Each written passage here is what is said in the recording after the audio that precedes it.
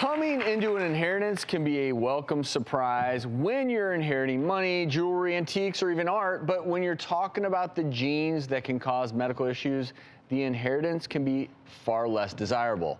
Now, new research finds the genetic mutation causing ovarian cancer may come from your father.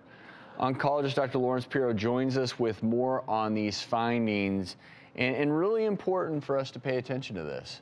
Yeah, you know, it doesn't make a lot of sense, right? Men don't have ovaries, so how is it that you can pass on genetic risk for uh, ovarian cancer? But it turns out that um, while fewer than 10% of ovarian cancers are genetically related, there are a number of genes that increase the cause of ovarian cancer in women, and they can be transmitted by the father as well as the mother. It's a new study where they looked at grandmother granddaughter pairs.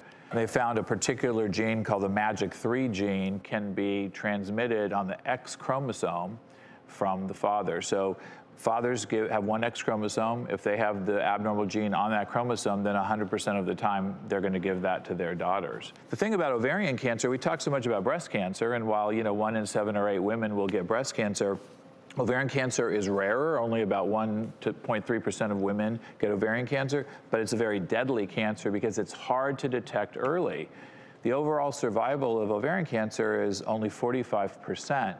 When you catch it in stage one, it's in, in the 90% percentages, but when it's in stage four, it's as low as 17%. So finding it early is really important. Should women be more aware then if their paternal grandmother has a history of ovarian cancer? Is that something they should have on the radar then? Yes, and I think uh, all women where there are multiple episodes of ovarian cancer or mixtures of breast cancer and ovarian cancer in their family should be thinking about that. And if you also have a relative where you know they have a BRCA1 or BRCA2 gene, the other genes that are associated with breast and ovarian cancer, you should be talking to your doctor about, you know, whether you should be screened for that or not. We have you here, Dr. Piro. So explain a little bit how the BRCA genes work. So BRCA genes are, are tumor suppressor genes and they produce these proteins that are important in DNA repair. And as we're all sitting around here getting exposed to the environment and things that we eat and drink and all of that, we're having breaks in our DNA, and those need to be repaired. And when you have these genes, you don't have the repair mechanisms working as well, so your cells can accumulate defects in the DNA. And when you get defects in the DNA, then those cells can become rogue cells and then we have to rely, rely upon our immune system to eliminate the rogue cells before they create tumors. As you age, your immune system begins to deteriorate and it's not as effective at getting the rogue cells. And so you have multiple things going on in terms of increasing the cancer risk. Lawrence, great segue. Let's talk about ovarian cancer. I mean, that can be a slow, insidious uh, onset for women, difficult to diagnose, or maybe a delay in making the diagnosis? Well, the ovaries, the ovaries are very small and they're in a region of the body where there are not necessarily a lot of other structures around them. So when a tumor grows in the ovary, if it's not pressing on a nerve to cause pain, if it's not blocking a blood vessel to create other kinds of symptoms, it can grow and grow and spread throughout the abdomen and the pelvis very insidiously. And then it's presenting with things like abdominal bloating and, and an increase in the size of your abdomen and weight gain. Those are all things that can occur occur from lots of conditions. And so the first thing women don't think of is not, do I have ovarian cancer? They think, oh, I'm gaining weight, or I'm, I must be eating a bad diet because I'm bloated, I must be gluten sensitive. There are all kinds of things that, that they think about first. And I think we should talk about this for a moment. There's a difference between I'm bloated because